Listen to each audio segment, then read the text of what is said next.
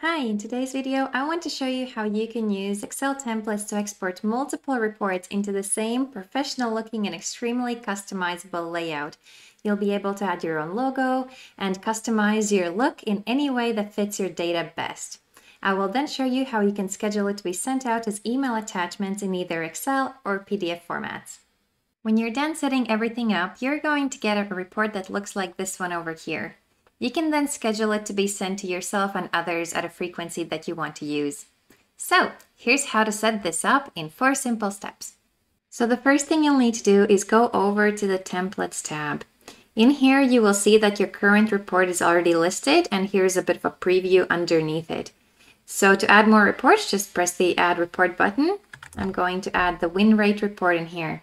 So the main thing to note here is where your data is going to be placed.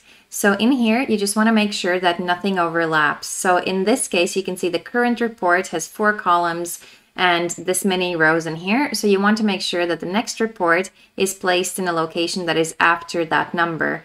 Now, if you're adding multiple reports, then you may want to open this here uh, in a new tab, and then you can take a quick look to make sure that um, you know what the layout of your actual report is. So this is what my finished report is going to look like. I have placed all my data in sheet number two because in my example, I will be placing all the visual graphics on sheet number one. So now that I'm happy with my result, I am going to go over to export as Excel. So once you've downloaded your Excel spreadsheet, we're on to step two you will see that once you download it, everything is uh, just raw data. There's no formatting to it or anything like that. So the first thing I want to do is I want to expand all the columns so that the data is easier to see.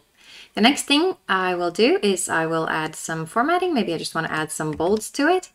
And then I can even add some extra functions. So maybe I want to add a ratio of actuals against targets and then make that a percentage value.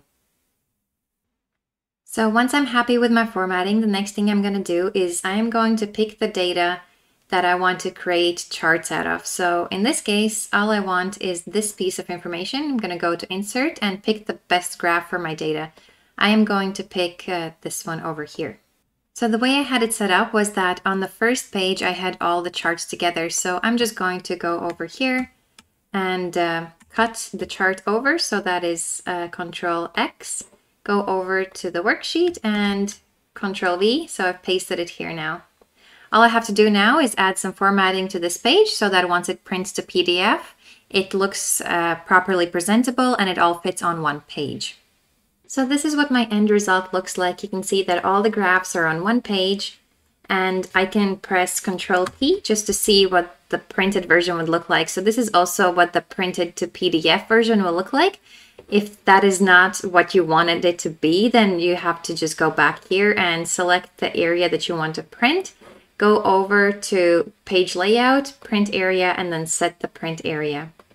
So once you're happy with the end result, what you'll have to do is go back to the input data tab and delete all the information in here. You have to be careful though how you do it. You do not want to select the columns or the rows because that is going to lose all the formatting. What you want to do instead is click into an empty cell, press Ctrl A, and you will use the delete button on your keyboard to delete everything.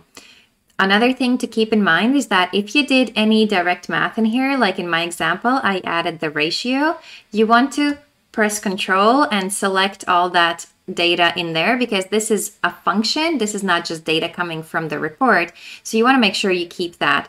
So now I'm going to hit the delete button and you can see that the math here is still happening. It just has no information to go with. So once I upload the new information from the new time period, this math is going to work again. And that's it. All you have to do now is go over here and save your template.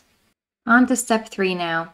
Once your template is ready to go, you have to go back here and click on Upload Template. In here, you can choose your file and upload it. Once it has been uploaded, if you're still fine-tuning your report, you can go here and override the report, and you can also download any previous templates in here. When you're done, go back to Report over here. And now you have to go in the Excel template drop-down menu and select the template that you want to use. I'm going to go with this one here. As you can see, it pulls the tab names from the template. So you have the option of hiding some of the worksheets. In my case, I'm going to hide the input data tab and only display the worksheet tab, which is where all the visual graphics are. You have multiple export options here. The most popular are exporting as an Excel file or as PDF from Excel. So PDF from Excel, what it does is that it takes the Excel template and then prints to PDF.